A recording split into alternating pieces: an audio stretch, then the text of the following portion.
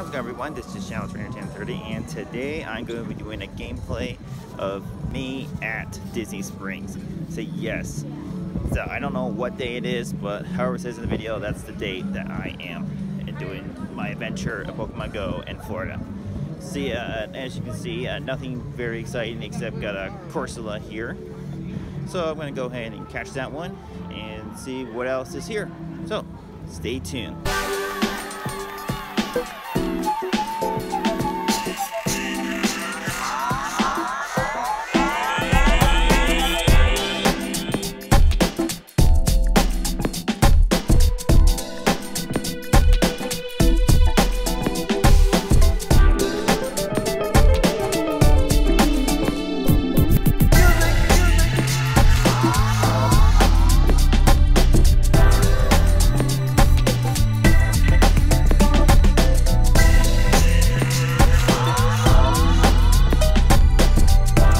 So yeah, that's my adventure in Disney Springs.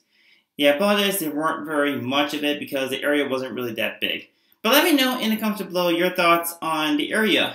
Do you think it'll be worth playing when you come here? For me, it definitely is if you are like want to explore more places and this is I recommend for you.